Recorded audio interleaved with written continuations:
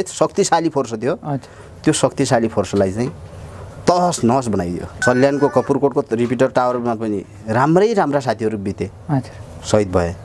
राम्रा राम्रा मान्छेहरू मात्रै शहीद भए। र राम्रा राम्रा मान्छेहरू मात्रै घाइते भए। र रोल्पाको रातामाटा टावरमा पनि राम्रा राम्रा मान्छेहरूको सादत भयो। रातामाटामा गएर हामीले जो पछाडिबाट प्रयोग गर्ने हतियारहरू हुन् अगाडि लगेर प्रयोग गऱ्यौँ। जो अलि टाढाबाट प्रयोग गर्ने हतियारहरू हुन् झन् नजिक लगेर प्रयोग गऱ्यौँ। जो नजिक लगेर प्रयोग गर्ने हतियारहरू हुन् तिनी डिफेन्समा राख्यौँ। टाढा। डिफेन्स र अफेन्स हुन्छ नि त हतियारको दुरी त। एलएमजीहरू अनि टु इन्च मोटारहरू अगाडि हेर्नुहोस् एसाल्टसँग छ। हजुर त्यो ज्ञान नभएर होला होइन त्यो ज्ञान नभएर। र हामीले त्यहाँ हाम्रो राम्रो बलियो शक्ति पनि गुमायौँ र हतियार पनि गुमायौँ। योजना सही भएन भने सबै घुम्ने रहेछ। त्यो हारले हामी राम्रैसँग छटपट्टियौँ क्या हजुर। अनि आफैसँग आफैलाई प्रशिक्षण दिने कमान्डर छैन आफैसँग आफैलाई हरेक कुराको ज्ञान दिने साथी छैन हरेक लडाइँमा चाहिँ सेना मात्यो भने सिद्धिने रहेछ क्या हजुर। सेना मात्तिनलाई कमान्डर मात्तिनु पर्ने रहेछ हेर्नुहोस्। जवानहरू मात्रेर होइन। हो होइन? अनि त्यहाँदेखि एकपछि अर्को त्यत्रो घोराइ आक्रमण गर्दाखेरि सातजना साथीहरूको सादत हुने ठाउँमा। पछिल्लो चरणमा मर्नेको सङ्ख्या त पचासदेखि माथि हुन लाग्यो कि? अनि पुरानो शक्ति कहाँबाट बच्छ? पुरानो जो बाहुन्नदेखि थिग्रिएर आएको अन्ठाउन्नसम्म थिग्रिएर आएको लडाकु शक्ति थियो। तपाईँको त्यो शक्ति कहाँसम्म आउँदा त के भयो भन्नुहुन्छ भने चाहिँ यो जुम्ला आक्रमणसम्म आउँदाखेरि त्यो शक्ति लगभग सिद्धियो क्या कतिपय माथिल्नै वडाको कमान्डरमा भइहाले बसेका मान्छेहरू। अनि कतिपय अब तलबाट आएको नयाँ जेनेरेसनको शक्ति छ नि त्यो शक्तिलाई कमान्ड गर्नतिर लागिहाले अनि त्यहाँदेखि ट्विन्च मोटार छोडिदियो छोडिसकेपछि उसले एलएमजी र अन्य सर्ट हतियारहरू लगेर भाग्यो। भागिसकेपछि एउटा स्कुलको पछाडि डाँडो थियो। त्यो डाँडामा गएर आर्मी बस्यो। बसेछ हामीलाई थाहा छैन। अनि त्यहाँदेखि हामीलाई के लाग्यो भनेपछि हामीलाई सपोर्ट फायर दिइराखेका छन् साथीहरूले भनेर लागेको छ हजुर। तर हाम्रो साथीहरूले हामीलाई नै हानेका छन्। पछि हाम्रो साथीहरू हुन् भन्न कसले कोर्डिनेसन गर्दै जाँदाखेरि रोकियो लडाइँ। भित्र गएर हेर्दा त हेर्नु। अनि त्यहाँदेखि त्यही स्कुलकै पालभित्रबाट हान्यौँ हामीले। यदि आर्मीले चाहेको भए हामीलाई मजासँग भुलेर मार्न सक्थ्यो क्या। त्यहाँ लड लड्न जाँदाखेरि तपाईँको सुरुवात त कस्तो भइदियो भन्नुहुन्छ भने चाहिँ लडाइँको सुरुवात हाम्रै साथीहरूसँग भइदियो क्या। त्यसमा पनि ब्यारेकतिर कस्तो छ भन्नुहुन्छ भने चाहिँ यस्तै समथल भूभाग छ। अनि पानी हालेको र त्यो खेत सिद्धिसकेपछि मात्रै हेलिकप्टरको ग्राउन्ड भेटिन्छ। ए हजुर। अनि ग्राउन्ड भेटिसकेपछि बल्लभित्र आर्मी ब्यारेको भेटिने हो। हजुर। अनि लडाइँ लड्दै लड्दै लड्दै लड्दै जाँदाखेरि अब अगाडि लागेको साथी पनि घाइते भइहाल्यो पछाडिको साथी पनि भाइ घाइते भइहाल्यो। कमान्डर मेरो एसाल्ट कमान्डर कहाँ छ भन्दा छैन। होइन? त्यही त भन्छु नि म। कमान्डरको मुख्य भूमिका हुन्छ आफ्नो फोर्सलाई बचाउने भनेर भन्छु नि। आफ्नो एसाल्ट कमान्डर भन्ने कहाँ छ थाहा छैन। गिर्नेर हानिसकेपछि त्यो बङ्कर खाली भयो एक चरण। र म बङ्करको छेउमा गएर बसेँ। त्यहाँसम्म पुग्नुभयो? अँ छेउमा गएर बसेँ। अनि त्यहाँदेखि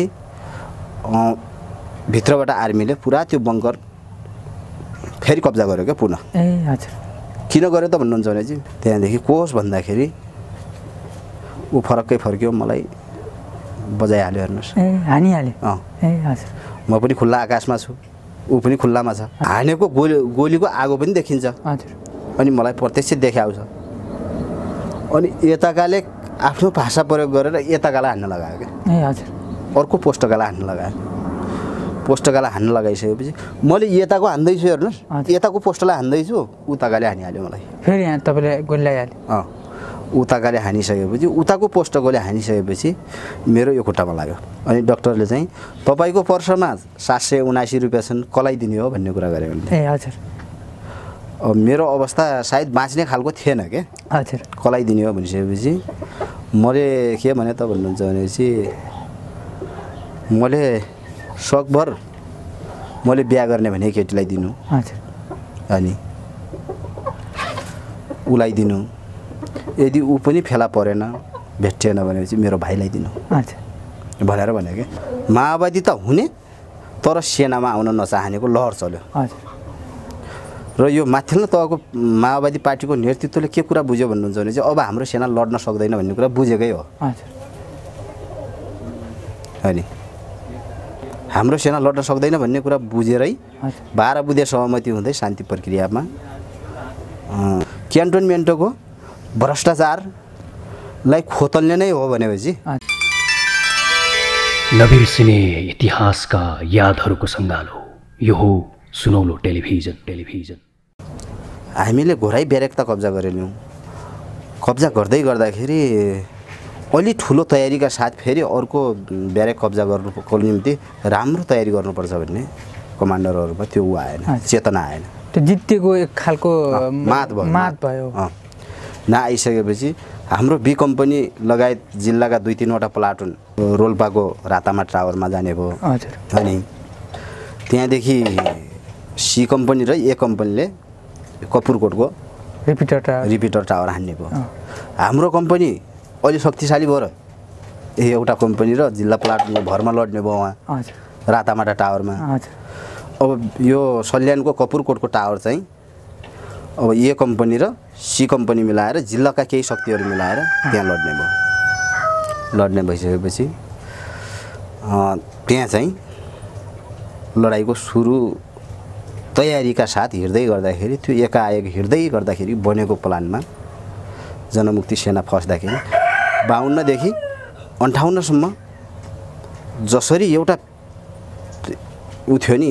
एउटा शक्ति सञ्चय शक्ति सञ्चयसहित शक्तिशाली फोर्स थियो। त्यो शक्तिशाली फोर्सलाई चाहिँ तहस नहस बनाइदियो। सल्यानको कपुरकोटको रिपिटर टावरमा पनि राम्रै राम्रा साथीहरू बिते। सहिद भए। राम्रा राम्रा मान्छेहरू मात्रै सहिद भए र राम्रा राम्रा मान्छेहरू मात्रै घाइते भए।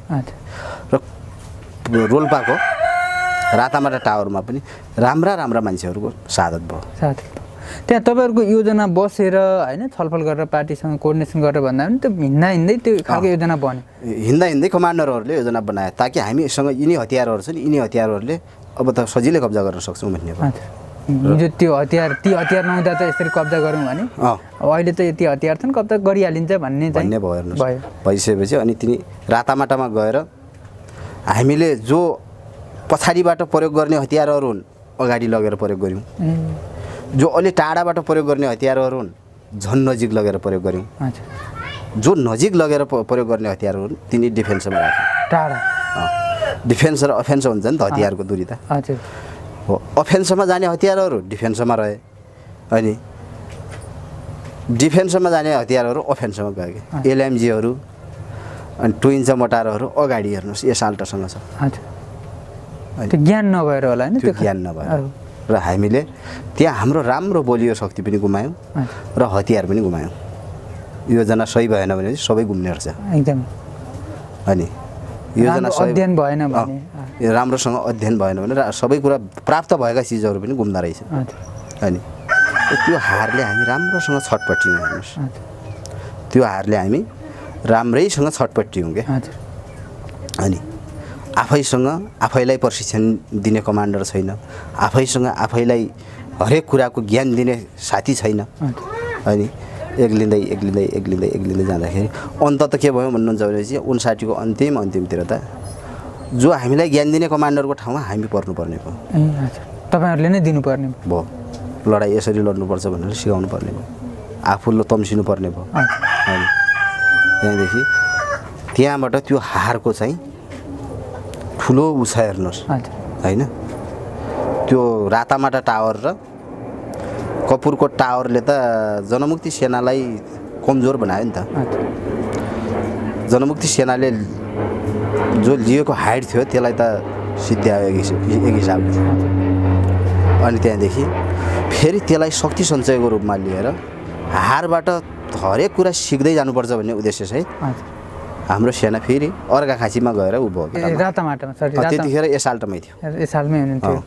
त्यहाँ त धेरै साथीहरू भनेको कति जति साथीहरू राम्रा राम्रा साथीहरू त गुमाउनु भयो। कति जति झन्डै हाम्रो आकलनमा पैँतालिसदेखि हजुर। माथि। साथीहरू चाहिँ त्यहाँ गुमाउनु। सहिद भए। झन्डै सय जति बढी साथीहरू घाइते भए। अनि शक्ति कसरी बच्छ?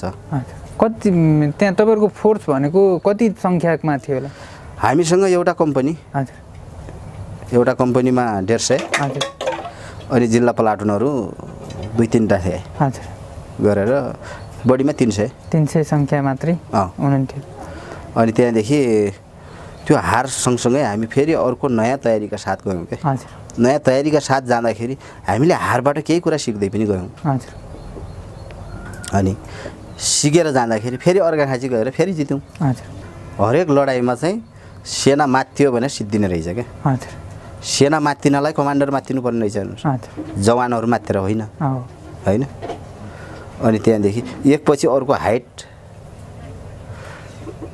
उ गर्दै जाँदाखेरि अर्का खाँसी त अझ पछि पो हेर्नुहोस्। होइन? त्यो हारपछि त हामी उहाँ पो गयौँ। रातामाटा र हजुर। तपाईँको कपुरकोटको हारपछि। हारपछि त हामी त अछामको मङ्गलसेन हान्न पो म गयौँ मङ्गल चाहिँ हान्न जान्थेँ अनि मङ्गलसेन हान्न जाँदै गर्दाखेरि तपाईँको हामीमा एउटा के थियो भन्नुहुन्छ भनेपछि इक के? हजुर। जनमुक्ति सेनाको लगभग लगभग माथिल्लो फोर्सको सबै उमा चाहिँ एउटा इक के थियो भन्नुहुन्छ भनेपछि जसरी भए पनि लडाइँ जित्नुपर्छ। हजुर। चाहे एउटा सदस्य नबच नबचे पनि हुन्छ तर लडाइँ जित्नुपर्छ। त्यति मात्रै थियो। त्यो पीडा त्यतिसम्म त्यतिसम्मको पीडा थियो क्या? पुण्य भएको थियो। अनि हामीले राम्रा राम्रा मान्छे गुमायौँ भन्ने मात्रै थियो क्या? अनि त्यहाँदेखि अछाम गइसकेपछि अछाममा जाँदै गर्दाखेरि तपाईँको अछाम पनि कब्जा भयो। अनि अछाम पनि सजिलै कब्जा भयो नि। अनि अछाममा पनि तर एउटा क्षति के भयो भन्नुहुन्छ भनेपछि एउटा पनि बचेनन् आर्मी पुलिसहरू पनि उनी पनि निर्धक्कै भएर लडे क्या उनीलाई कसैलाई मार्ने काम पनि भएन। उनी आफै लडे। खास किन त्यसरी आफै बिच लडे कि? नै माओवादीसँग लडाइँ गरेर आत्मसमर्पण गर्ने हो भने मार्छन् भन्ने भयो उनलाई। ए हो।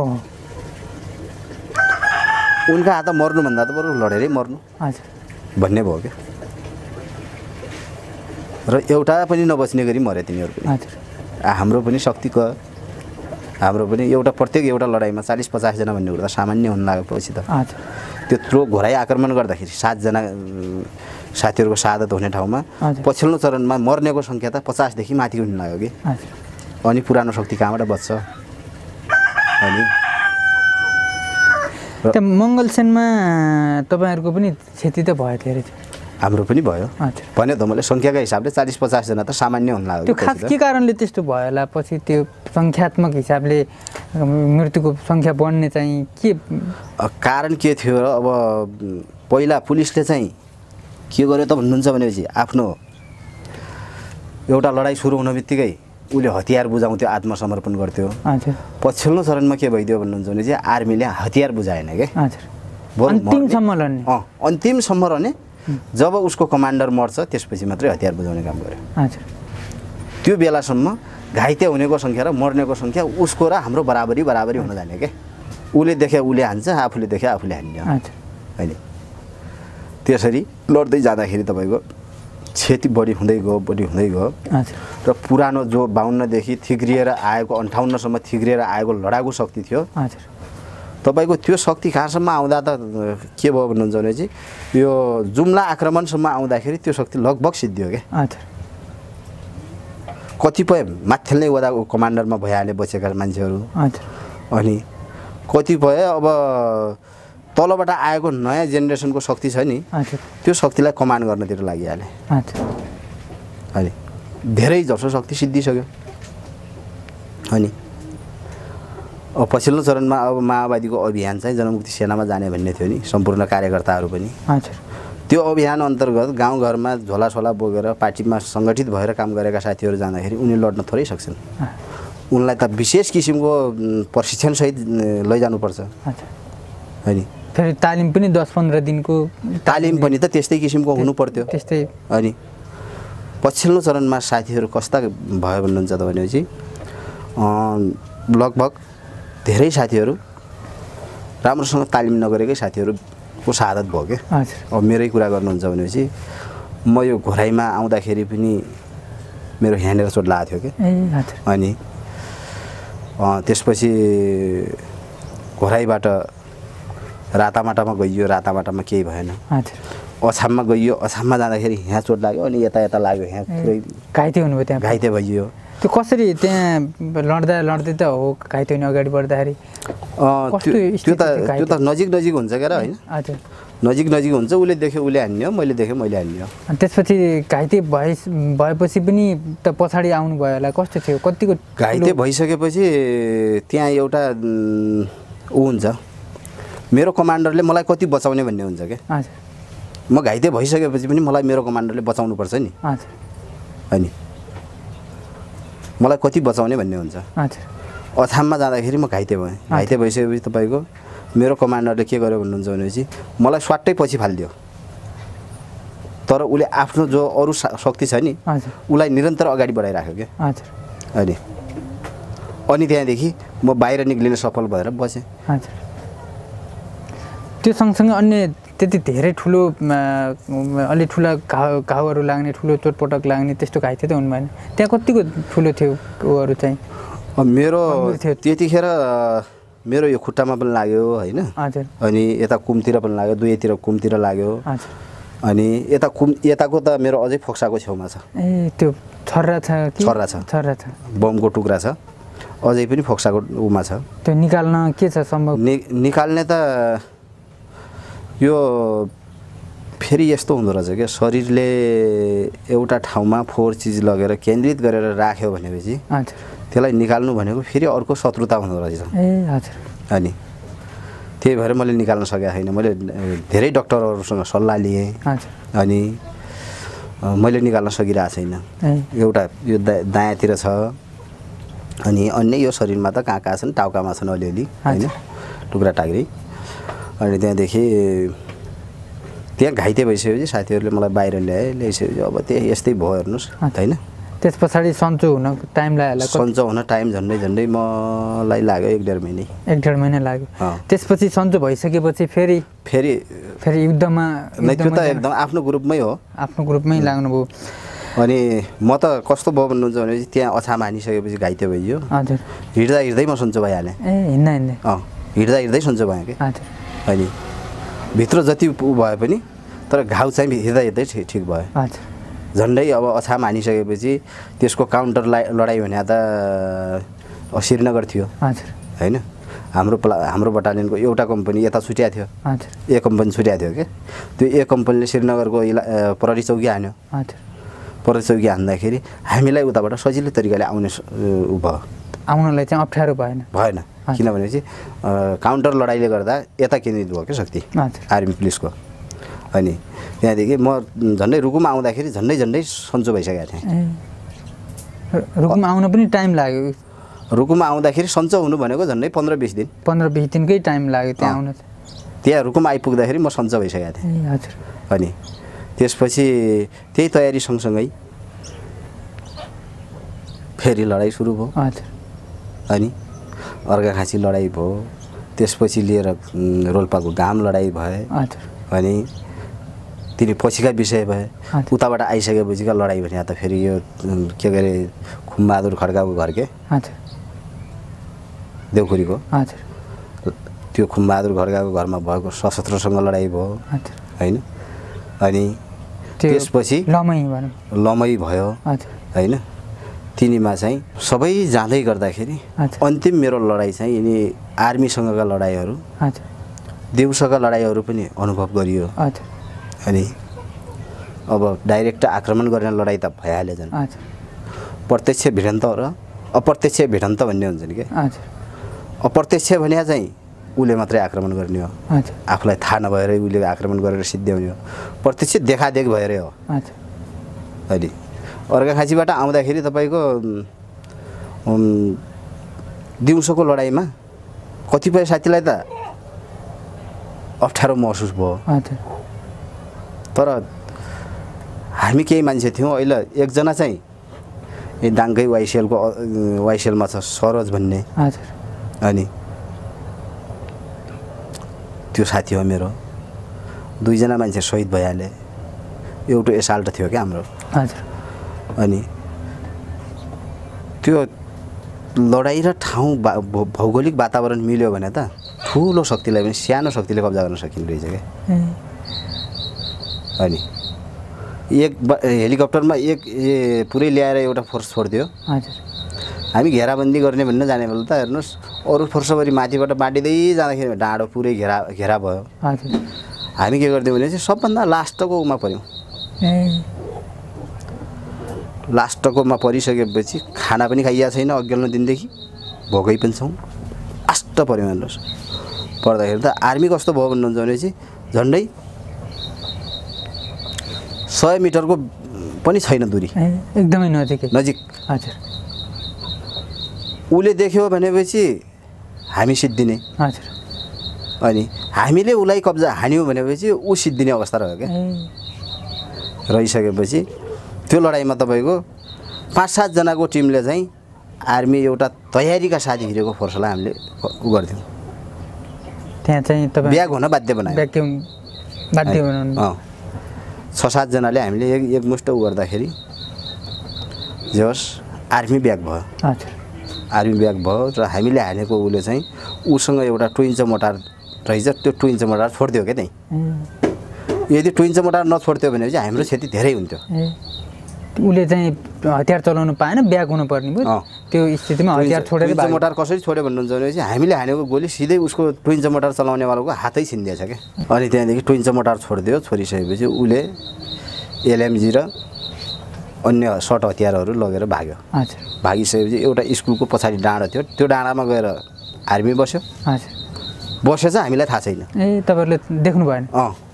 हामी गएर त्यो स्कुलभित्र पस्यौँ ए। यस्तोमा स्कुल छ यस्तोमा डाँडो छ।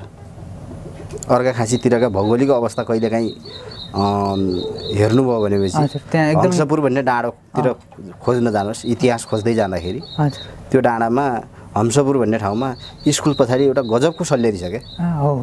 अनि त्यो डाँडामा गएर आर्मी बसेछ। हामी गएर स्कुलभित्र पस्यौँ। जम्मा कति छौँ? चारजना मात्रै छौँ। चारजना मात्र। अरू शक्ति सबै माथि डाँडामा छ।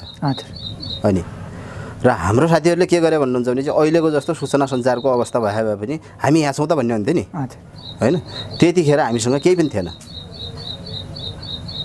केही पनि थिएन क्या केही पनि नहुने अवस्थामा माथिबाट साथीहरूले सोझ्याइ सोझ्याइ हामीलाई हान्छन् क्या हेर्नुहोस्। आर्मीले चाहिँ हानिरहेछ। आर्मीलाई भन्दा पनि हामीलाई तपाईँहरूका साथीहरूले नै हानिराख्नु हानिराखेका छन्। अनि त्यहाँदेखि हामीलाई के लाग्यो भनेपछि हामीलाई सपोर्ट फायर दिइराखेका छन् साथीहरूले भन्ने लाग्छ तर हाम्रो साथीहरूले हामीलाई नै हानेका छन्। पछि हाम्रो साथीहरू हुन् भन्न कसले कोर्डिनेसन गर्दै जाँदाखेरि रोकियो लडाइँ। भित्र गएर हेर्दा त हेर्नुहोस् पुवालबाट हेर्ने स्कु- स्कुलको पुवालबाट हेरियो हेर्दाखेरि त आर्मी पुरा त्यो घाइते भएका आर्मीहरूको ड्रेसिङदेखि लिएर सबै त्यही टा टाप टाकुरामा गर्दै रहेछ क्या। हजुर। अनि त्यहाँदेखि त्यही स्कुलकै पुवालभित्रबाट हान्यौँ हामीले। यदि आर्मीले चाहेको भए हामीलाई मजासँग भुलेर मार्न सक्थ्यो क्या। ए पुवालबाटै हानिसकेपछि त्यो डाँडो छोडेर अर्को डाँडोमा गयो अनि हामी सुरक्षित भयौँ एउटा झोला छोडिदियो। त्योबाट ल्यायौँ हामीले लगभग तिन चार सय राउन्ड गोली ल्यायौँ। अनि बाँड्यो चारजनाले। अनि त्यहाँदेखि त्यो अवस्थादेखि उता चाहिँ आर्मीसँग लड्न सकिने भएन हेर्नुहोस्। लड्न नसकिने अवस्था भइसकेपछि हामी चारजनाले ठाउँ छोड्थ्यौँ लडाइँमा कहिलेकाहीँ हजुर। खतरनाक हुन्छ क्या? हजुर एकदम। अनि हामीले छोडिदिउँ। अब यहाँदेखि अगाडि आर्मीसँग लड्न सकिँदैन छोडिदेऊ अब यो। दुस्साहस गर्नुहुन्न भन्ने। भयो। जुन गरियो गरियो। अँ अब गर्नुहुन्न भनेर हामीले छोडिसकेपछि हामीलाई हामीले छोडेर पछाडि ब्याग हुँदै गर्दाखेरि दुई तिनजना साथीहरू सहिद भए त्यहीँनिरै हजुर। किन त भन्नुहुन्छ भनेपछि त्योभन्दा अगाडि आर्मीका हामीले जे गर्नुपर्ने थियो क्षति गरिसकेका छौँ चारैजनाले मात्रै। हजुर। उसको एलएमजीवालो टिम पनि हामीले सिद्धाइसकेका छौँ। हजुर उसको टु इन्च मोटारवालो टिम पनि सिद्धाइसकेका छौँ। हजुर अनि अब उनीसँग सर्ट हतियारवाला छन् उनीले त देख्न बित्तिकै हान्ने हुन्। लङ दुरीमा हान्ने हतियार उसँग छैन। हजुर होइन? अनि हामी अब सकिन्न है। अब सकिन्न भन्ने भइसकेपछि हामी बिहा हुँदै गर्दाखेरि दुई तिनजना साथीहरूलाई गोल लाग्यो त्यहीँनिरै। हजुर गोल लाग्यो अलिक छोडिदेऊ भन्न भन्यो छोडिदिउँ अनि फर्क्यौँ क्या हजुर फर्किसकेपछि तपाईँको त्यो लडाइँ दिउँसोको लडाइँ झन् शानदार जस्तो लाग्ने कि। हामीले त कब्जा गर्नलाई होइन। बाटो क्लियर गर्नु बाटो क्लियर गर्नलाई मात्रै त्यो गरेका थियौँ तर दिउँसोको लडाइँ झन् शानदार हुने। अनि त्यसपछि त्यो लडाइँ जितिसकेपछि आएर आउँदै आउँदै आइयो। अर्को तयारी सहित आउँदाखेरि यता घोराइका यमुर सेमुस त यिनी सामान्य भइदियो हाम्रो लागि होइन? अनि यिनी मुसुट खोलाका पुल सुल त्यहाँदेखि यिनी जताततै यिनी जति पुलहरूमा हान्ने काम भयो त्यतिखेरै भयो हुने के प्रायः। अनि तिनी सबै उ गर्दै गइसकेपछि अन्तिम लडाइँ मेरो के भयो भन्नुहुन्छ भने चाहिँ जुम्लाको सदरमुकाम। जुम्लाको सदरमुकाम। जुम्लाको सदरमुकाम लड्दै गर्दाखेरि त्यतिखेर म एफजिएल थिएँ। हजुर। म त्यतिखेर एक एफजिएल थिएँ। जो कि मेरो लाइन पनि कमान्डरको लाइनमा सुरु भयो क्या त्यहाँदेखि। त्यो एफजिएल नहुन्जेलसम्म त्यो जवानै हुन्छ। अनि त्यहाँ लड लड्न जाँदाखेरि तपाईँको सुरुवात त कस्तो भइदियो भन्नुहुन्छ भने चाहिँ लडाइँको सुरुवात हाम्रै साथीहरूसँग भइदियो क्या। त्यहाँ जुम्लामा होइन? हजुर। ब्यारेकतिर लड्ने साथीहरू र जिल्ला प्रशासन कारागारतिर लड्ने साथीहरूको बिचमा फाइट भयो। त्यो कोअर्डिनेसन नभएर कोअर्डिनेसनको अभावका अभाव कारण। हो अनि फाइट भइसकेपछि हामी त हाम्रो लाइन क्लियर गयो भित्र गइहाल्यौँ। हजुर। अनि त्यो बाहिर कोअर्डिनेसन गर्ने साथी थियो उहिले गोली लाग्थ्यो। हजुर। कोअर्डिनेसनलाई नै गर्ने साथीले गोली लागेपछि त सक्यो। सकिहाल्यो। झन्डै दस पन्ध्र मिनट आधा घन्टा चाहिँ त त्यही हाम्रै साथीहरू बिचमा पनि लडाइँ भयो। हजुर। अनि अनि त्यहाँदेखि तपाईँको त्यो लडाइँ अरू त सबै कब्जा भयो त्यहाँको। हजुर। अनि तर आर्मी ब्यारेक कब्जा हुन सकेन। आर्मी ब्यारेक कब्जा किन हुन सकेन त भन्नुहुन्छ भने चाहिँ उम्, एक त जुम्लाको चिसो। चिसो। त्यसमा पनि ब्यारेकतिर कस्तो छ भन्नुहुन्छ भने चाहिँ यस्तै समथल भूभाग छ। अनि खेतहरू छ। खेतहरू छ। त्यो खेतहरू पनि कस्तो भन्नुहुन्छ भने हिलोवाला खेत। हिजो पानी हालेको। पानी हालेको। र त्यो खेत सिद्धिसकेपछि मात्रै हेलिकप्टरको ग्राउन्ड भेटिन्छ। ए हजुर। अनि ग्राउन्ड भेटिसकेपछि बल्लभित्र आर्मी ब्यारेको भेटिने हो। हजुर। अनि लडाइँ लड्दै लड्दै लड्दै लड्दै जाँदाखेरि तपाईँको भित्र त्यो हेलिकप्टर ग्राउन्डदेखि माथि ठुल्ठुला पोस्ट रहेछन् क्या। हजुर। अनि म घाइते हुनुको पछाडि एउटा ठुलो रहस्य छ क्या त्यहाँ पनि घाइते हुनुभयो? म पछि यो कुरै कामै नलाग्ने गरी घाइते नै भएँ। ए हजुर। अनि तपाईँ त्यहाँ आर्मीतिरै हुनुहुन्थ्यो। अब म आर्मीमै सायद मेरो घोराइ पछिका लडाइँहरू सबै मेरो आर्मीसँगै भयो। ए आर्मीसँगै भयो। पुलिससँग भएन। हजुर अनि त्यहाँदेखि त्यो लडाइँकै क्रममा अब अगाडि लागेको साथी पनि घाइते भइहाल्यो पछाडिको साथी पनि भाइ घाइते भइहाल्यो। कमान्डर मेरो एसाल्ट कमान्डर कहाँ छ भन्दा छैन। होइन? त्यही त भन्छु नि म। कमान्डरको मुख्य भूमिका हुन्छ। आफ्नो फोर्सलाई बचाउने भनेर भन्छु नि। आफ्नो एसाल्ट कमान्डर भन्ने कहाँ छ थाहा छैन। देखिएकै छैन। ऊ कहाँ छन् के गरिरहन् भन्ने थाहै छैन। अनि त्यहाँदेखि ऊ नभइसकेपछि मैले कमान्ड गरेर लग्ने मान्छेहरू। मा तिनजना बस्यो तिनजनामा एकजनालाई सुरुमै गोली लाग्यो ए हजुर अनि त्यहाँदेखि उसलाई गोली लागिसकेपछि उसको हतियार मैले बोकेँ उसलाई बिस्तारै पछि हट भन्न भने। बचाउनु त पऱ्यो नि। होइन? त्यहाँबाट तपाईँको निक्लिन नसक्ने स्थिति भयो भने त त्यही रहने हो। हजुर उसलाई बिस्तारै हट भन्न भने बिस्तारै ऊ सर्यो पछि। अब दुईजना मात्रै बाँकी दुईजना मात्रै बाँकी छौँ।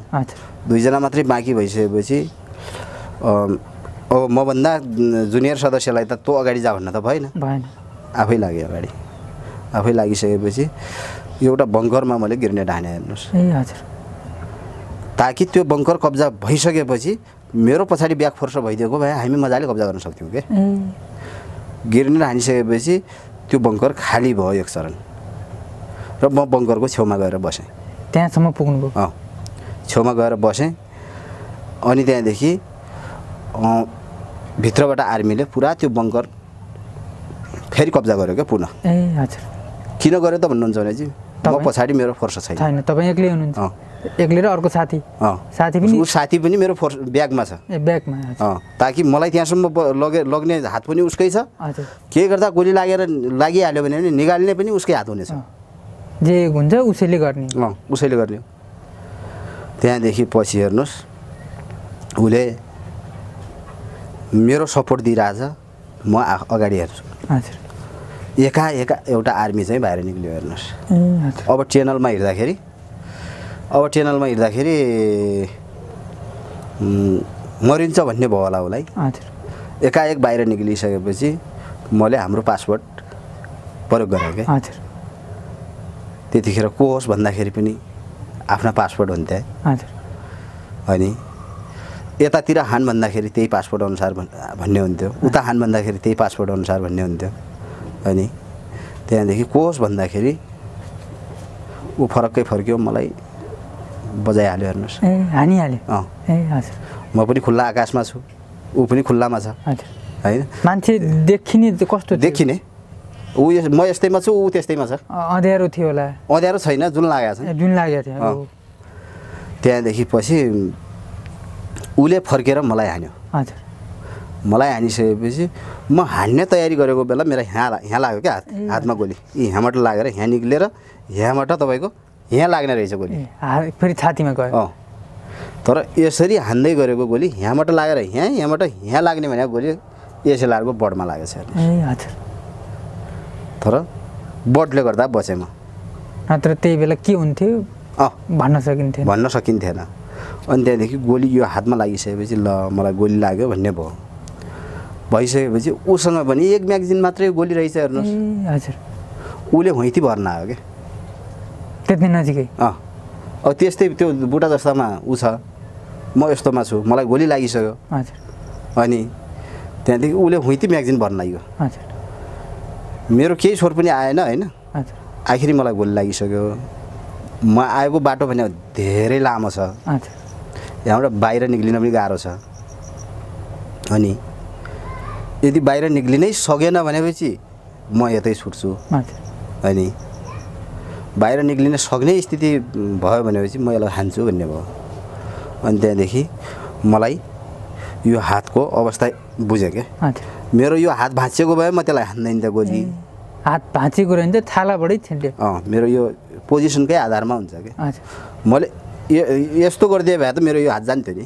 म हान्दै थिएँ मान्छेलाई। यसरी गोली हान्दै थिएँ र त मेरो यहाँबाट लागेर यहाँ यहाँबाट यहाँ लाग्ने थियो नि। अनि त्यहाँदेखि म बसेँ भन्ने भयो। अनि त्यहाँदेखि यता छाम्छु औँला यस्तो भएको छ नि। अनि त्यहाँदेखि पछि यो हात केही उपाय लागेन। यही हातमा अऱ्याए ता हात छ हेर्नुहोस्। हजुर। अऱ्याएर उसलाई हानिदिएँ मैले। उसलाई हानिसकेपछि ऊ पनि चुप्प लाग्यो। म पनि एकछिन चुप्प लागेँ। उसलाई चाहिँ ऊ पनि घाइते भयो। घाइते भन्दा ऊ त मरिहाल्यो नि। ए मरि। मर्ने गरी ऊ त मरि मरिहाल्यो। हजुर। मरिसकेपछि म घाइते छु हजुर। तर मैले हान्दै गरेको हजुर। ऊ त्यहाँनिर छ ऊ त्यो पर छेउका मान्छेले त देखिरहेको छ नि मैले हान्दै गरेँ हौ। हजुर। मैले हानेको गोलीको उता प्रत्यक्ष देखिन्छ नि। हजुर। ताकि हतियारबाट आगो नै बल्छ क्या हजुर। अनि फेरि जुनेली रात पनि छ। जुनेल रात पनि छ। र हानेको गोली गोलीको आगो पनि देखिन्छ। हजुर। अनि मलाई प्रत्यक्ष देखाउँछ अनि यताकाले आफ्नो भाषा प्रयोग गरेर यताकालाई हान्न लगायो क्या। ए हजुर। अर्को पोस्टकालाई हान्न लगायो। पोस्टकालाई हान्न लगाइसकेपछि मैले यताको हान्दैछु हेर्नुहोस्। यताको पोस्टलाई हान्दैछु उताकाले हानिहाल्यो मलाई। फेरि यहाँ तपाईँले गोली लगाइहाल्यो अँ उताकाले हानिसकेपछि उताको पोस्टकोले हानिसकेपछि मेरो यो खुट्टामा लाग्यो। हजुर। यो खुट्टामा लागिसकेपछि मलाई के कुरा थाहा छैन भन्नुहुन्छ भनेपछि झन्डै दुई सय तिन सय मिटर भित्रबाट हजुर। बाहिरी कार्यतारमा आएको कुरा मलाई थाहा छैन। भित्रबाट तपाईँ बाहिर आइराख्नु भएको छ। अँ मलाई गोली लागिसकेपछि बाहिरी कार्यतारमा आएर म ढल्या रहेछु मलाई थाहा छैन। ए हजुर। त्यो बिचमा म कसरी आएँ? के गरी आएँ? मलाई केही पनि थाहा छैन। ए तपाईँ त्यहाँ भित्र हुनुहुन्थ्यो तर तपाईँलाई त्यहीँ छु भन्ने लागिरह। अँ। तर पछाडि चाहिँ आइराख्नु भएको छ। अँ म तपाईँको त्यो घा जब खुट्टामा गोली लागिसकेपछि म बेहोसमै दौडेछु क्या। ए हजुर। होसमा होइन कि? बेहोसमा दौडेछु त्यो खुट्टामा गोली लगाइसकेपछि। बल्ल त्यस्तो भयो। बेहोसमै दौडिएछु दौडिसकेपछि मलाई बाहिरी कार्यतारले रोकेछ हेर्नुहोस्। यदि नरोकेको भए म अझ दौडिन्थेँ होला। बाहिरी कार्यतारले रोकेर म त्यही एसएलआर चाहिँ कार्यतारले अड्डाएछ। म बाहिरपट्टि परेछु हेर्नुहोस्। अनि अर्को साथीको हतियार यतामुखि बोकेको छु बोकेकै छु। अनि त्यहाँदेखि तपाईँको ऊ झन्डै झन्डै मलाई लाग्छ पाँच दस मिनट होला जस्तो लाग्छ। त्यो बिचमा कति टाइम ग्याप भयो त्यो पनि थाहा छैन। तर मलाई पाँच दस मिनटको अनुमान लाग्छ कि कहिलेकाहीँ। त्यही बिचमा म बिउँथेँ हेर्नुहोस्। ए हजुर बेहोसीबाट बिउँथेँ कि हजुर बिउतिँदाखेरि म त भित्र थिएँ भन्ने मात्रै आयो कि। म भित्र थिएँ म कहाँ छु अहिले भन्ने भयो। अनि पल्टिँदाखेरि उत्तानो भएर पल्ट्याएर हिजो। म कहाँ छु अहिले भन्ने भइसकेपछि राम्ररी सोचेँ हेर्नुहोस्। त्यतिखेर यो बच्चादेखि बुढो उन्जेलसम्मको यादहरू आउँछन् कि? हजुर। सबै कुरा छर्लङ्ग उज्यालो भए जस्तो भयो मलाई। हरेक कुरा। हजुर। सबै उज्यालो भए जस्तो भयो भइसकेपछि। म कसरी बच्ने भन्ने मात्रै आयो त्यहाँदेखि मलाई। म कसरी बच्ने र त्यो म बच्नुभन्दा पनि त्यो हतियार कसरी बचाउने भन्ने ठुलो चिन्ता भयो मलाई। अनि त्यो हतियार कसरी बचाउने? भन्ने ठुलो चिन्ता भइसकेपछि त्यो हतियार तपाईँको धौ धौ धौ धौका त्यो एसएलआर ताने। अड्डेको एस एसएलआर तान्नेलाई हेर्नुहोस्।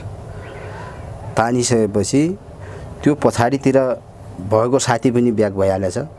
अनि कता गयो त्यो थाहा भएन। ऊ पनि कता गयो भन्ने थाहै थाहै छैन उसले तपाईँलाई छोडेर हिँडिसकेको छ। अब उसले छोड्याएको थियो कि थिएन त्यो पनि थाहा छैन मलाई। तर म त्यहाँदेखि पछाडि केही पनि थाहा पाउँदैन क्या। अनि त्यहाँदेखि पछि त्यो साथीले चाहिँ प्रवेश घाइते भयो भन्ने खालको बाहिर प्रचार बाहिर ग गऱ्यो होला। हजुर। गरिसकेपछि एकजना मेरै गाउँको साथी चाहिँ आएर मलाई च्याप्प समातेर लग्यो हजुर। ताकि त्यो ठाउँमा उम्, मेरो त्यही एसाल्ट कमान्डर पनि आएर मलाई बोक्ने कोसिस गर्यो सकेन उसले। हजुर। अनि पछि एसाल्ट कमान्डर चाहिँ आउनुभयो एसाल्ट कमान्डर परिवेश घाइते भयो भनिसकेपछि आउन त आयो है तर ठुलो के भयो भन्नुहुन्छ भनेपछि एसाल्ट कमान्डर आएर के गर्ने? हजुर। उसले सैन्य क्षेत्रमा टेक्नै नसक्ने अवस्था रह्यो क्या पछि। ताकि त्यो लडाइँ पछाडि ऊ फर्मेसनमा नै गएन घर गइसकेपछि। अब उसका हरेक गल्ती कमजोरीहरू त्यहाँ त औलिन्छन्। भोलि समीक्षामा आउने हुन् कुरा होइन। न नगएर ऊ घर बस्यो। अनि त्यहाँदेखि तपाईँको त्यहाँ आइसकेपछि झन्डै झन्डै झन्डै मलाई साढे चार बजेतिर डक्टरहरू कहाँ पुर्याएको थियो। डक्टर डक्टर कहाँ पुर्याउँदाखेरि? जो जुन खालको प्रचार छ नि हजुर। जुन खालका जुन खालको प्रचार चाहिँ जनमुक्ति सेनाभित्र माओवादीभित्र जिउँदै मान्छेहरू गाड्थे हजुर। जिउँदै मान्छेहरूलाई खाल्डो खनेर पुर्थे। हजुर। भन्ने खालको जुन खालको प्रचार छ हजुर। त्यो प्रचार चाहिँ पूर्ण रूपमा गलत थियो क्या हजुर। किनभने चाहिँ त्यसका प्रत्यक्षदर्शी र त्यसका भो त्यो कुरालाई भोगेका मान्छे त हामी आफै छौँ। हो कि होइन?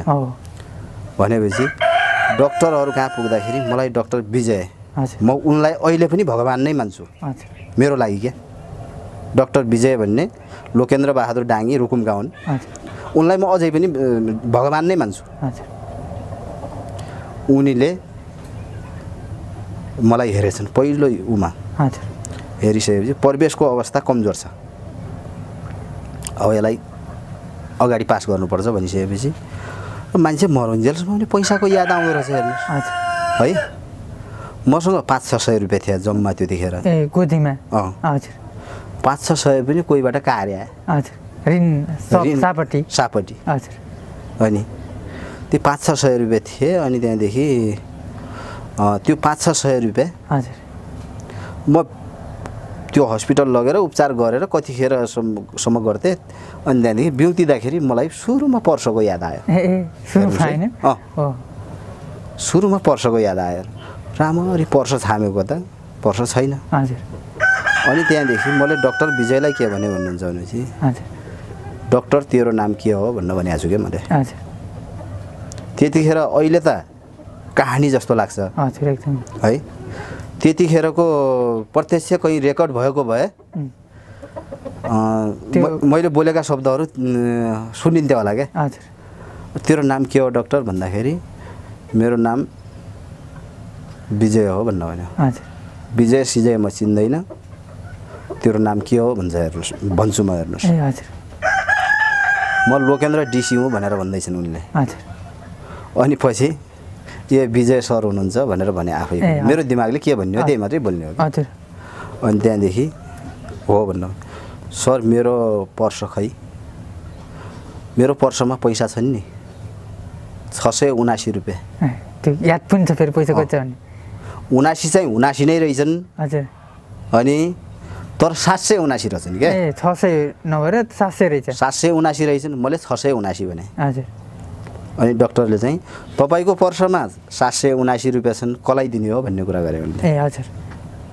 अब मेरो अवस्था सायद बाँच्ने खालको थिएन क्या हजुर। कसलाई दिने हो भनिसकेपछि मैले के भने त भन्नुहुन्छ भनेपछि मैले सकभर मैले बिहा गर्ने भने केटीलाई दिनु। हजुर। अनि उसलाई दिनु। यदि ऊ पनि फेला परेन भेटिएन भनेपछि मेरो भाइलाई दिनु। हजुर। भनेर भने ए हजुर। भनिसकेपछि अनि मेरो बुढी चाहिँ यो त्यतिखेर मैले बिहा गरेको थिएन।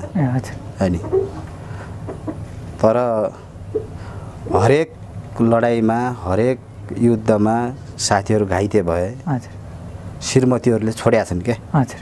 है? श्रीमतीहरूले छोड्या छन् हजुर। तर म घाइते भएँ।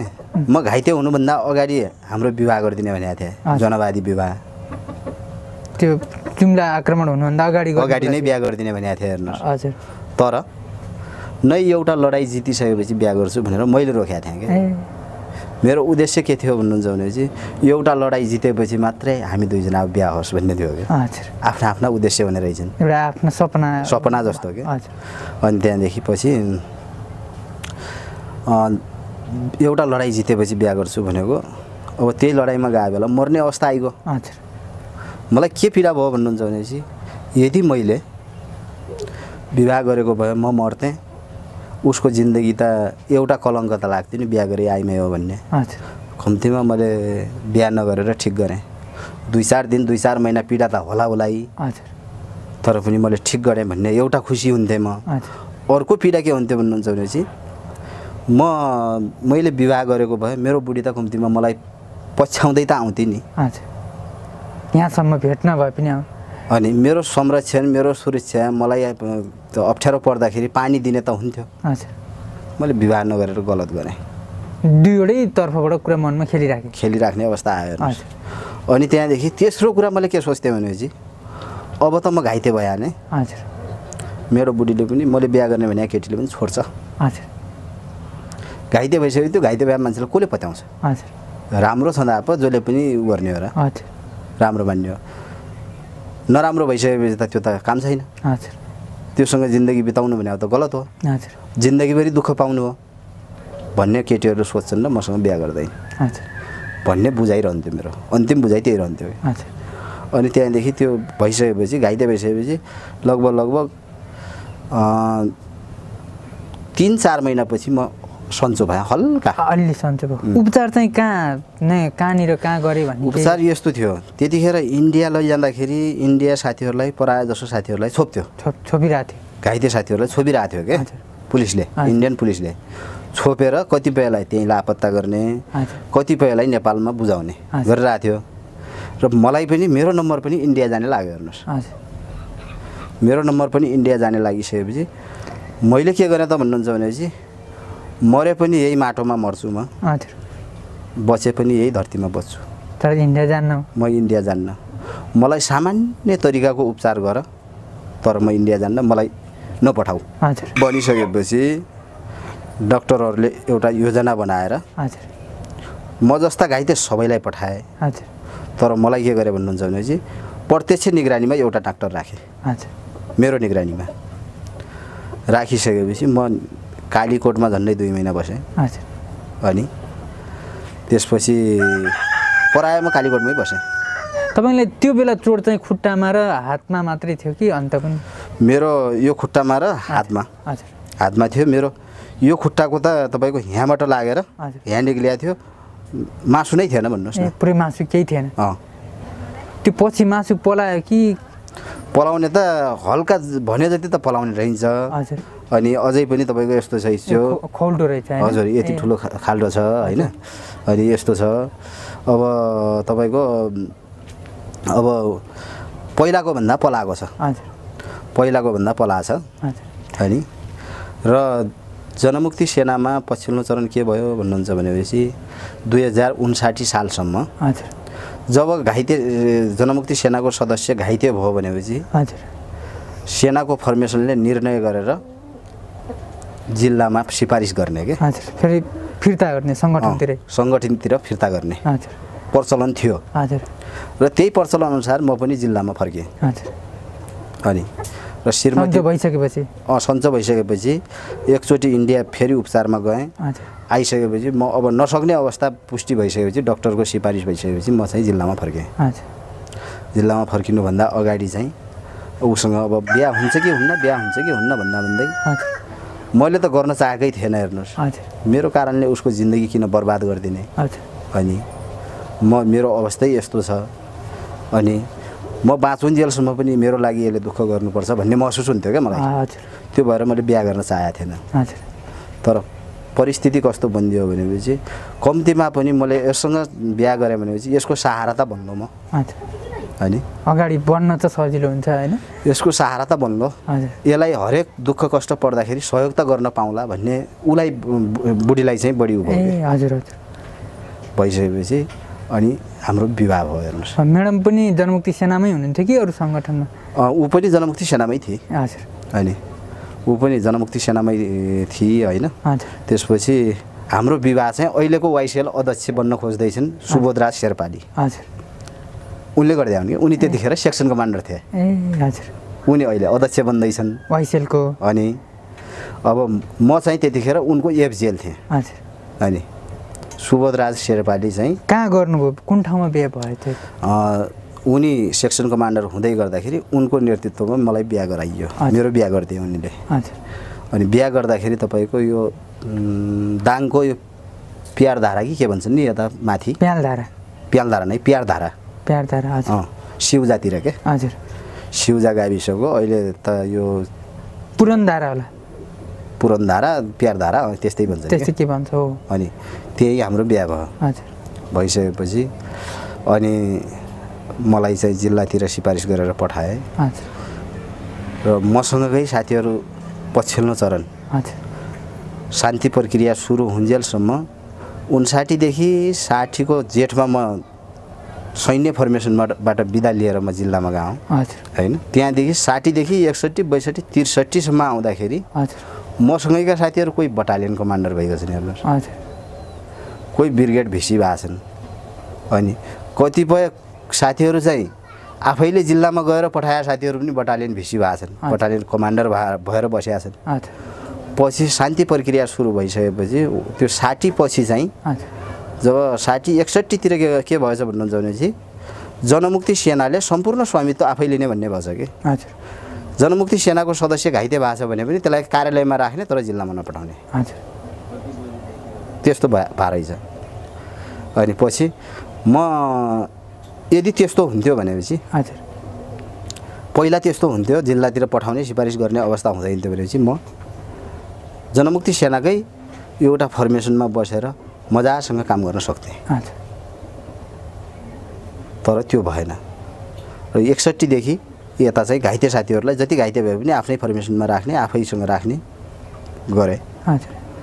र पछि आइसकेपछि आफैले पार्टी सदस्य दिएका साथीहरू पनि कम्पनी भिसी कम्पनी कमान्डर भाव भेट्यो। हजुर र म फेरि शान्ति प्रक्रियामा आइसकेपछि पुराना सेनाहरू सबै चाहिँ प्रत्येक फर्मेसनमा आफ्नो आफ्नो फर्मेसनमा फर्किने। भन्ने निर्देशन बमोजिम म चाहिँ मङ्गलसेन फर्स्ट फर्स्ट ब्रिगेड दवनमा आएर बसेँ हेर्नुहोस्। अलि दवनमा आएर बस्दाखेरि म त्यतिखेर जो सिफारिस जिल्लातिर सिफारिस गरेर पठाउँदै गर्दाखेरि मेरो हैसियत त्यतिखेर प्लाटुन भिसी थियो। प्लाटुन भिसीको हैसियतमा म जिल्लामा फर्केर गएको थिएँ। अनि भनेपछि म फर्मेसनमा फेरि जोइन हुन आउँदाखेरि म प्रमाणीकरण पनि त्यही प्लाटुन भिसीमै भयो क्या। प्लाटुन भिसीबाटै स्वैच्छिक अवकाश लिनुभयो। लिएँ मैले।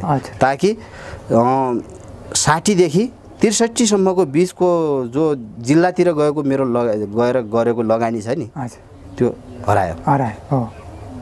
मैले पार्टी सदस्यता दिएको मान्छे कम्पनी भिसी कम्पनी कमान्डर भएर बसेको छ। बटालियनसम्म पुगेको बटालियन कमान्डरसम्म पुगेका छन्। तर म जिल्लाबाट त्यहाँ आउँदाखेरि उही पुरा- पुरानै हैसियतमा बसेँ। हजुर पुरानै हैसियतमा बसिसकेपछि प्रायः मेरो मात्रै कहानी नभएर त्यो धेरैको त्यस्तो थियो।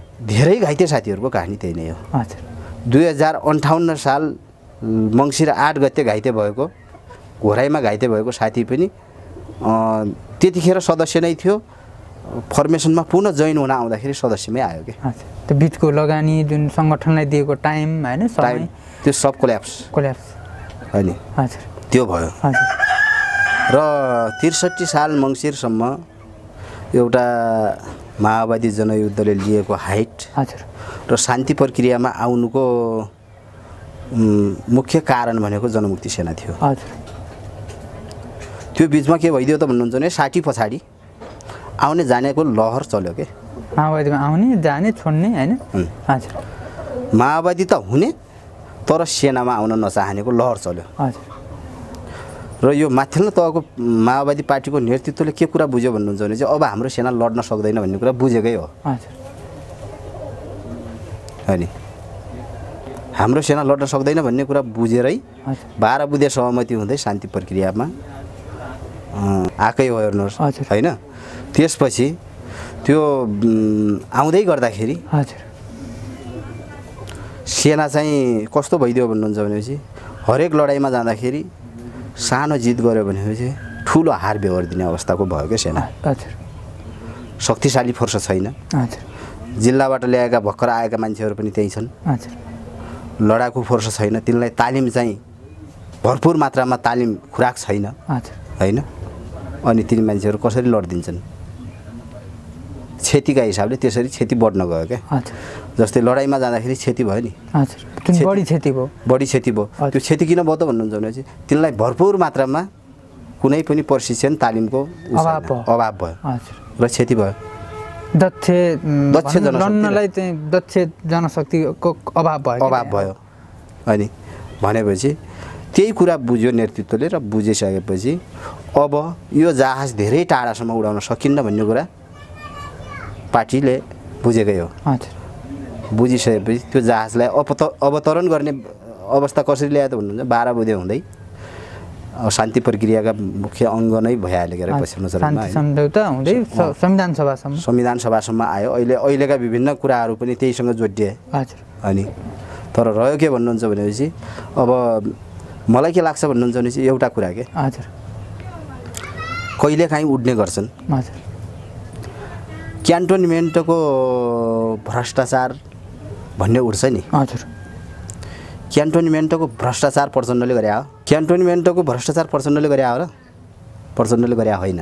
क्यान्टोनमेन्टमा भ्रष्टाचार गर्ने मान्छे त अरू थियो त।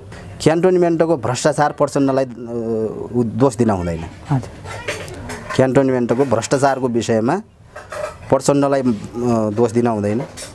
अनि क्यान्टोनमेन्टको भ्रष्टाचारी भन्ने भने चाहिँ जनार्दनहरूलाई कृष्ण महराहरूलाई पनि भन्न हुँदैन भन्छु म।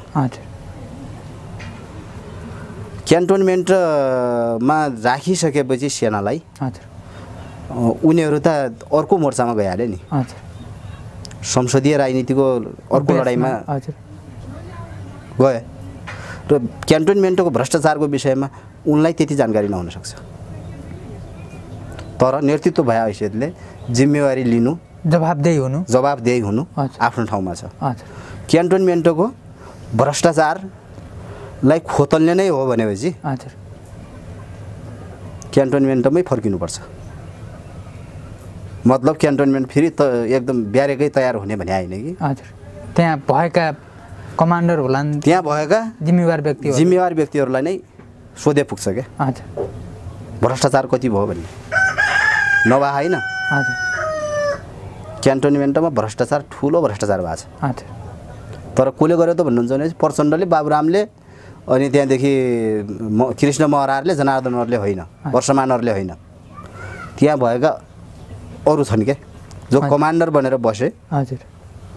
त्यो भ्रष्टाचार कहाँदेखि कहाँसम्म भएको छ भन्नुहुन्छ भनेपछि तत्कालीन जनमुक्ति सेनाका कम्पनी भिसीदेखि हजुर। ब्रिगेड कमान्डर डिभिजन कमान्डरसम्मले गरेका छन् हजुर जवानहरूलाई मतलब छैन। भ्रष्टाचारको तल्लो तह भनेको कम्पनी भिसी कम्पनी पिस तिनीहरूको मिलोमत्तमा भयो भन्ने लाग्छ तपाईँलाई चाहिँ। तल्लो तह भनेको कम्पनी हजुर। त्यसमा पनि घाइते सा साथीहरू होइन है। घाइतेहरूले त त्यो संरचनामा घोलमेलै गर्न पाउँदैन। क्यान्टोनमेन्टको विषयमा चाहिँ कम्पनी भिसीदेखि हजुर। डिभिजन कमान्डरसम्मलाई राम्रोसँग थाहा छ। हजुर। भ्रष्टाचार त्यहाँ भएको छ। हजुर। धेर थोर एक रुपियाँ खाए पनि त भ्रष्टाचार होइन? होइन यो या त्यो रूपमा संलग्नता कम्पनी भिसीसम्मको छ। हजुर। अनि र ब्यारेकबाट निक्लिँदै गर्दाखेरि त्यसको सिस्टम देखिया थियो क्या। हजुर ब्यारेकबाट निक्लिँदै गर्दाखेरि त बाँडिएका थिए नि। कसैले गाडीहरू ल्याएको थिए कमान्डर भन्नेहरूले कसैले गाडीहरू ल्याए कसैले बाइकहरू ल्याए हेर्नुहोस्। कसैले पैसै बोकेर आए। अनि अरू त अरू थियो त्योभित्र भएका जो सामानहरू छन्। कम्प्युटरहरू ल्यापटपहरू तिन त अब दैनिक चलाउने चिज भए तिन त ल्याउन पाउने भए। त्यो बाहेकका पैसा समेत बाँडचुट गरेर खाएको अवस्था हो। र सबभन्दा धेरै धेरै भ्रष्टाचार डिभिजन भिसी र डिभिजन सचिव डिभिजन कमान्डरले गरेका छन्। त्यतिखेरको अवस्थामा। अनि सबभन्दा ठुलो भ्रष्टाचार र त्यसको श्रेय अहिले कसले लिनु परिरहेछ भन्नुहुन्छ भने चाहिँ प्रचण्ड जनार्दन लगायतका मान्छेहरूले। खोज्ने हो भनेपछि क्यान्टोनमेन्टको भ्रष्टाचार खोज्ने हो भनेपछि त्यहाँ जानुहोस्। त्यहाँ जाँदा हुन्छ। त्यहाँ भेटिन्छ भ्रष्टाचार होइन र हामीलाई त कोहीले भित्तामा पुर्याउलान् भन्ने पनि डर छैन हेर्नुहोस्। हजुर। होइन? हामी निष्पक्ष कसैले "ए, तँ पार्टीमा लाग भनेर लाग्या पनि होइन। अनि हामीलाई त्यो सङ्गठित भएपछि यस्तो हुन्छ है भनेर भने पनि होइन। अनि एउटा प्रशिक्षणमा भनेको थियो कि उसले नन्दकिशोर हजुर। तिमीहरूलाई हामीले पार्टीमा लाग भने हौ र। भनेर भनेको थियो कि? हुन पनि हो। हामीलाई तिमीहरू सङ्गठित हौ।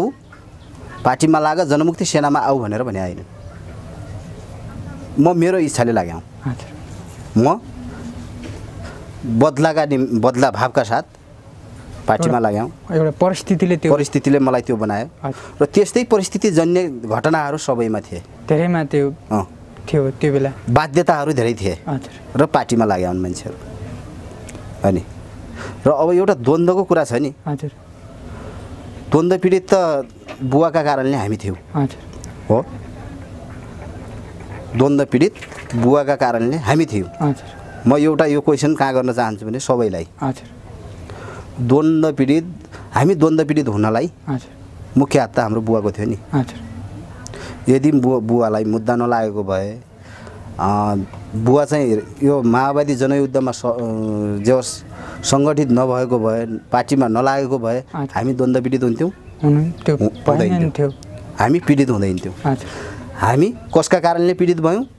राज्यले कसलाई गर्यो पीडा बढी पीडा कसलाई दियो दमन हामीलाई। दमन कसलाई गर्यो हामीलाई गर्यो कसको कारणले? बाउको कारणले। अनि। र पछि बुवा आमालाई नै मार्यो पुलिसले। हजुर र हामी द्वन्द्व पीडित मात्रै रहेनौँ त्यहाँदेखि त्यो माथि के थप्यो शहीद परिवार भन्ने थप्यो। हेर्नुहोस् है। शहीद परिवार भन्ने थपिन। कहाँसम्म आयौँ त भन्नुहुन्छ भनेपछि अहिलेसम्म पनि शहीद परिवार त हौँ। राज्यले त्यो यो या त्यो रूपमा एक्सेप्ट गर्ला या नगर्ला। तर माओवादी जनयुद्धको बेलामा रगत बगाउनेहरूको लिस्टमा हाम्रो परिवार पनि छ। हामी शहीद परिवार पनि हौँ। अनि र अब द्वन्द्व पीडित कसलाई भनिने भयो त? हामी त बुवाका कारणले द्वन्द्व पीडित थियौँ पछि बुवा आमालाई मारिसकेपछि शहीद परिवार भयौँ पीडितै भयौँ। र फेरि म माओवादी भइहालेँ। हो कि होइन भन्नुहोस् म माओवादी भएँ। म पीडित त भएन नि फेरि। म आमा बाउ नभएको कारणले पीडित त भएँ शहीद परिवारभित्रको पीडित भएँ। हजुर। अनि? तर म माओवादी भइसकेपछि मेरो कारणले पीडित हुने को छन् त फेरि? मेरो परिवार होइन। मेरो कारणले पीडित हुने मेरो कारणले दुःख पाउने मेरो कारणले चाहिँ हरेक पीडाहरू भोग्ने भने त मेरो परिवार हो। अबको फेरि पनि मेरो कारणले पीडा हुने भनेको पीडित त परिवार हो नि। त्यो भएर यहाँ द्वन्द्व पीडितका पनि धेरै नारा लाउँछन् हेर्नुहोस्। हजुर। अनि हाम्रो जिल्लामा कस्तो छ भन्नुहुन्छ भनेपछि कोही भिरबाट लोट्या मान्छेहरू पनि शहीद परिवार भएको छन् द्वन्द्व पीडित भएको द्वन्द्व पीडित भएको छन् क्या अनि यसको क्याटोगोरी हुनुपर्छ भन्छु म। र घाइतेको हकमा पनि त्यस्तै छ। कोही घाइते नै नभएका मान्छेहरूले राहत खाएर विपत्ता छ। नेपालभरि नै भनौँ। अनि घाइते नै भएको छैन। त्यसलाई युद्धको मजा के हो भन्ने उसले चाखेकै छैन। युद्ध भनेको क्या हो राम्रोसँग बुझेको छैन। तर ऊ घाइते छ। कस्तो छ भन्ने कुरा नजिकबाट निहालेन पनि उसले। हजुर भनेपछि ऊ घाइते भएर घाइतेको सम्पूर्ण चिज लिइरहेछ। हजुर सेवा सुविधा। भनेपछि हो यो माओवादीभित्रका कमजोरीहरू। यो कमजोरीहरू के हुन् त भन्नुहुन्छ भनेपछि बादमा फस्यो क्या पार्टी। माओवादी पार्टी बादमा फस्यो। त्यो बाद के हो भन्नुहुन्छ भने पहिला माओवाद भन्ने हुन्थ्यो। मार्क्सवाद लेनिनवाद माओवाद भन्ने हुन्थ्यो। पछिल्लो चरणमा प्रचण्ड पद हुँदै आफन्तवादमा गयो क्या हजुर। बादमा त बादमै गयो बादमै त बादमै छ तर आफन्तवादमा गयो। राम्रो बादमा भन्दा नराम्रो बादतिर गयो। आफन्तवादमा गयो। हजुर। माओवादी पार्टी यो साइजमा आउनुको मुख्य हात भनेको बिच बिचका नेताहरूको हाल हालतले गर्दा हो। माथिकालाई त के माथिकाले त देख्छन् नि। तलको चित्र माओवादी शान्ति प्रक्रियामा आउँदाखेरि के ठुलो दल पनि आएन र। संसदीय प्रणालीमा पनि। बनेकै त हो नि। तर भयो के भन्नुहुन्छ भने चाहिँ यो संसदीय प्र प्रक्रियामा आउँदै गर्दाखेरि माओवादीभित्र भएका तिनी पुराना स्वत्वहरू त कायम थिए त। एक हद उम्, विभिन्न लडाइँ र युका कारणले आफूले ज्यान जोगाउनको निम्ति पनि एउटा एकताबद्ध राजनीति गरे अवस्था थियो र। अब अब केही हुँदैन है भन्ने भइसकेपछि त तपाईँको आफन्ततिर बढी केन्द्रित भयो हाम्रा नेताहरू। मेरो आफन्त अगाडि कोही पनि छैन म केही पनि होइन। तर उदाहरणको लागि तपाईँको अगाडि कोही ठुलै नेता छ भनेपछि तपाईँ सबै हो क्या। तपाईँले भनेको कुरा सबै लाग्छ। नेपालमा चाहिँ राजनीति चाकडीवाद आफन्तवादमा। सबै राजनीति दलमा त्यो खालको छ। हो। अझ क्रान्ति गरेर आएको यो माओवादीलाई त पछिल्लो समय त्यसैले नै बिगाऱ्यो भने। त्यसैले बिगाऱ्यो हजुर। भनेपछि हामी के छौँ भन्नुहुन्छ? भनेपछि हामीले एउटा पीडा एउटा लडाइँ एउटा परिवर्तनको निम्ति लडिने लडाइँ हामीले राम्रोसँग देखेर आछौँ गरेर आछौँ। र हामी मरुन्जेलसम्म पनि यो पार्टी हामी छोड्न सक्दैनौँ। एकदमै। अनि प्रचण्डले निर्माण गरेको पार्टी प्रचण्ड जस्तो सुकै उमा भए पनि हामीले माओवादी पार्टीको नाममा अथवा कम्युनिस्ट पार्टीको प्रचण्डहरूले बनाएको कम्युनिस्ट सेन्टर जुन जुनसुकै बनाए पनि त्यो पार्टीलाई हामी भोट हाल्न तयार छौँ। हामी भोटर हौँ। मरुन्जेलसम्म पनि के? तर कुरा कहाँनिर भयो भन्नुहुन्छ भने चित्त दुख्ने कुरा क्या प्रचण्डले एकचोटि माओ चाहिँ गाउँ गाउँमा पसे झैँ गरेर प्रचण्ड किन नपस्ने? आफ्नो शक्ति कमजोर हुँदाखेरि माओ पसेकै त हुन् नि। होइन? गाउँमा आएर मेरो आफ्नो अवस्था आफ्नो टिमको अवस्था आफ्नो पार्टीको अवस्था बुझ्नलाई गाउँमा पसे हो। होइन? विद्रोह गर्दै गर्दाखेरि अहिले पनि त यहाँ विद्रोह छ नि। होइन? कम्युनिस्ट विद्रोह भनेको क्या छुट्टै हुन्छ र। माओवादीमा विद्रोह गर्नेहरूको कमी भयो र। भएन नि। बादलहरूले गरे टोबियारले गरे। अनि बाबुराम पनि विद्रोही गरेर निक्ल्या हुन्। यो या त्यो रूपमा तँले भाले खाएँ मैले पोथी खाएँ भन्दा भन्दै निक्ल्या त हुन् नि। हो यो विद्रोहको पछाडि तल ब्याकग्राउन्ड छोड्यो क्या अनि तल जराबरी सुक्दै जाने माथि फेद मात्रै यत्रो छ भने भनेपछि कहाँबाट हुन्छ हजुर? पार्टी रहन्छ? रहँदैन। त्यही भएर माओवादी अहिले यो साइजमा आयो। माओवादी यो साइजमा आउनुको पछाडि गाउँमा सङ्गठन चुस्त छैन। माओवादी तँ हो कि भनेर सोध्ने अवस्था छैन। खोज्ने अवस्था छ क्या अनि तर मलाई खुसी के लाग्छ भन्नुहुन्छ भनेपछि माओवादी टोल भन्छन् क्या। मेरो घरमा छन् त हामी तिन घर मात्रै छौँ यहाँतिर। अनि माओवादी टोल भन्दाखेरि बडा आनन्द आउँछ मलाई। किन आउँछ त भन्नुहुन्छ भने चाहिँ अँ, कम्तीमा पनि मेरो अस्तित्व त रहेकै छ नि त। माओवादी हो भन्ने अस्तित्व रहेको छ नि। हामी तिन घर छौँ र त पनि माओवादी टोल भनी मागेका त छौँ। अरू टोल भनी त मागेका छैन अनि त्योमा बडा गर्व आनन्द हुन्छ के। गर्वानुभूति हुन्छ हेर्नुहोस्। भनेपछि अब यस्तै गरेर म जस्तै गरिनँ मलाई कसले कसले मलाई भोट दियो भन्न आउँछ कोही नेपाली काङ्ग्रेसको मान्छे मलाई भोट दियो भनेर भन्न आउँछ? आउँदैन। एमालेको मान्छे आउँछ? आउँदैन। आउने त आए पनि माओवादी त होला नि। माओवादी नआए पनि म भोटै हाल्नेछु। माओवादीलाई नै हाल्नेछु। तर यो भित्र भएका जो अवसरवादी प्रकृतिका अनि जो भ्रष्टाचारमा लिप्त भएका मान्छेहरूलाई पार्टीले अगाडि बढाउँदैछ नि। सबभन्दा ठुलो माओवादी सिद्धिनुको पछाडिको शक्ति भनेको त्यही हो। यो शक्तिलाई प्रचण्ड लगायतका नेताहरूले चिनेनन् भनेपछि अब प्रचण्डको आयु धेरै छैन। यो पार्टीको आयु धेरै छैन क्या? सकिन्छ? खेलाडी त हुन्। यो पार्टीसँग अर्को पार्टीसँग गठबन्धन गरेर जालान् पार्टी बनाउन खोज्लान् तर एक्लै लड्ने दम हुँदैन। एक्लै लड्ने दम पनि हुँदैन। अँ, र पार्टी चाहिँ सक खुम्चिँदै खुम्चिँदै जाने सम्भावना। सकिन्छ। हजुर। सकिन्छ पार्टी। हामी दुई चारवटा भोट हालेर के गर्ने? गाउँमा सङ्गठन छैन। अनि बिचौलियाहरूले चाहिँ उही अहिले त के गर्छन्? भन्नुहुन्छ। भने फेसबुकमा लेख्यो भनेपछि यो हाम्रो नेता हो भन्ने मान्छन् हो तलको जनआधार के हो बुझ्नु आउनु परेन। हो अनि त्यही भएर यो चाहिँ पार्टी यस्तै हो हेर्नुहोस्। हामी बाँचुन्जेलसम्म पनि माओवादीलाई भोट त हालौँला। तर नेतृत्वले सही लाइन सही पद्धति प्रक्रिया अनुसार एउटा नीति योजना अनुरूप पार्टीलाई अगा अगाडि बढाउन खोज्यो भनेपछि पार्टीको भविष्य छ। यो पार्टी अझै कमजोर हुँदैन। तर यस्तै हालतमा यस्तै अवस्थामा आफन्तहरूलाई भुल्ने हरेक चुनावमा जनताका छोराछोरी लडाउने मराउने अनि त्यहाँदेखि चुनाव जितिसकेपछि आफन्तहरूलाई भुल्ने आफन्तहरूको नेता खाली मुहाली हुने जो इमान्दार नेता कार्यकर्ताहरूलाई लात हान्दै जाने प्रवृत्ति छ नि। हजुर। यो प्रवृत्तिले गर्दा पार्टी सिद्धिन्छ। हस्। एकदमै महत्त्वपूर्ण तपाईँको विचार सँगसँगै हिजोका ठुला ठुला अनुभव अनुभूतिहरू तपाईँका लामो एउटा श्रृङ्खला जीवन देखि लिएर तपाईँका अन्तिम लडाइँसम्म हिजोका तपाईँका जीवन भोगाइहरू हाम्रो बिचमा राखिदिनु भयो धेरै धेरै धन्यवाद दिन चाहन्छौँ।